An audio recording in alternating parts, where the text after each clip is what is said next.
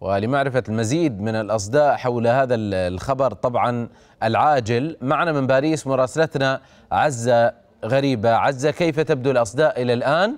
ماذا عن الأخبار التي تلت إعلان الإصابة مثل إلغاء كل الزيارات الخارجية خصوصا إلى لبنان؟ أشير فقط ماجد إلى خبر عاجل آخر يفيد بأن رئيس الوزراء الفرنسي جون كاستكس أيضا وضع في العزل لمدة أسبوع لأنه تواصل مع الرئيس الفرنسي الذي أعلن الإليزي إصابته بفيروس كورونا هذا الصباح وقد أجرى الاختبار اختبار فيروس كورونا هذا الصباح وهو يجريه بحسب الإليزي بشكل متكرر وحتى بشكل يومي أحيانا. الرئيس الفرنسي الآن التساؤلات حول الأشخاص الذي الذين تواصل معهم في الأيام القليلة الماضية. مثلا كان قد استقبل أمس في الإليزي رئيس الوزراء البرتغالي وبالتالي الضيف البرتغالي وكل الوفد المرافق الآن تم إعلامهم. وهذه مشكلة هذا الفيروس لأن تأثيره ليس فقط على الشخص المصاب والذي يؤكد الاليزي بأن أعراض اصابته طفيفة حتى الآن هو عانى هذا الصباح من وجع في الرأس وبعض السعال وقد أجرى الفحص بشكل سريع وتبين أن هذا الاختبار إيجابي وبالتالي تم إلغاء كل نشاطات الرئيس اليوم وكل تنقلاته حتى في الأيام المقبلة بما يشمل ذلك زيارته المرتقبة إلى لبنان. والآن هناك تطمينات على صحة الرئيس ولكن كما ذكرت لك كل المحيطين به من وزراء ومسؤولين سياسيين وحتى ضيوف أجانب يجري الآن إبلاغ إبلاغهم حتى يقوموا بعمل هذا الاختبار أيضا طيب عزة يعني الرئيس الفرنسي هو في مقتبل العمر ليس يعني كبيرا في العمر كما نستطيع القول هل أثيرت أي مخاوف على صحته أو حياته؟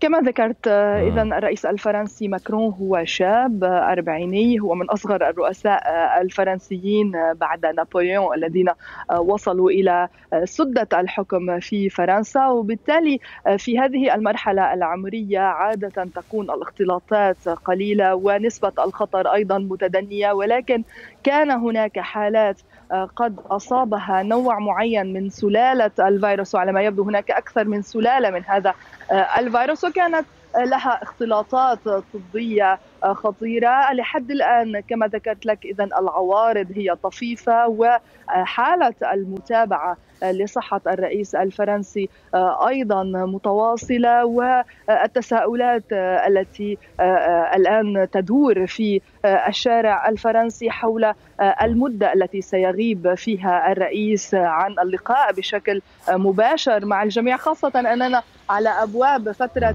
أعياد الميلاد ورأس السنة. طيب عزة إلى أي مدى هذا أيضا؟ يعني يقرأ يقرأ ناقوس الخطر. الرئيس الفرنسي يصاب بكورونا. كيف بقية الشعب الفرنسي أو المقيمين في فرنسا؟ إلى أي مدى هذه المسألة خطرة؟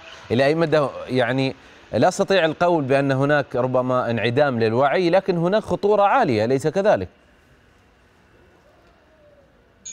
هناك خطورة عالية والخطورة دائما موجودة ولذلك تأكيد من الرئيس الفرنسي ومن كافة المسؤولين السياسيين على ضرورة الالتزام بالتباعد الاجتماعي. الآن خرجنا من العزل التام في فرنسا والإغلاق التام ولكن في الخامس عشر من ديسمبر كان يفترض أن نخرج بشكل كامل أو بشكل كبير جدا من حالة الإغلاق. ولكن الأعداد الكبيرة للإصابات في فرنسا والتي لم تصل إلى حد أدنى من خمسة ألاف إصابة وهو ما حدده الرئيس الفرنسي في كلمته لكي تخرج فرنسا بشكل كامل من هذا الإغلاق التام. للأسف الأرقام لا تزال عالية جدا في فرنسا. عشرة ألاف إصابة يوميا تقريبا بالمتوسط. وإن كان عدد الوفيات قد تراجع عدد الوفيات في الفترة الماضية كان 500 وفاة يوميا ولكنه تراجع في الأيام القليلة الماضية. وأيضا الضغط الاستشفائي على المستشفيات. ولكن ما يتردد الآن ماجد هو مسألة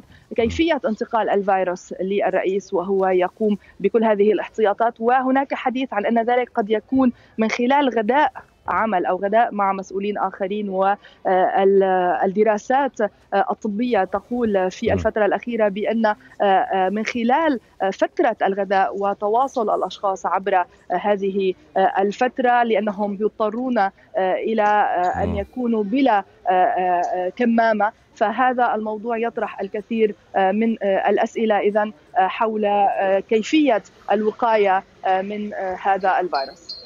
طيب. بالخلف منك عزة يعني أيضا آه، أرى هؤلاء الطلاب آه، الصغار يجولون. هذا النشاطات نعم, نعم هذا منظر مفرح. المدرسية مستمرة. طيب لكن في تزامنا مع هذه المسألة. النشاطات المدرسية ولكن ترى بأن الكمامة كمامة إجبارية حتى في المدارس. هم ذهبوا من المدرسة إلى النشاط الرياضي وهذه النشاطات أيضا محدودة جدا في هذه الفترة. وهذه آخر أيام قبل عطلة الميلاد وبالتالي الجميع يحاولون الحديث إلى الكاميرا وسعيدون كما ذكرت. الله الله يحفظ العيال الأبناء الصغار أينما كانوا. لكن دعيني أسألك يا عزة عن موضوع اللقاح. طبعا أعلنت فرنسا ودول أوروبية كثيرة عن موضوع اللقاح. ما مستقبل هذه المسألة؟ كيف سيتم توزيعه؟ وهل تم اختيار لقاح معين عالميا؟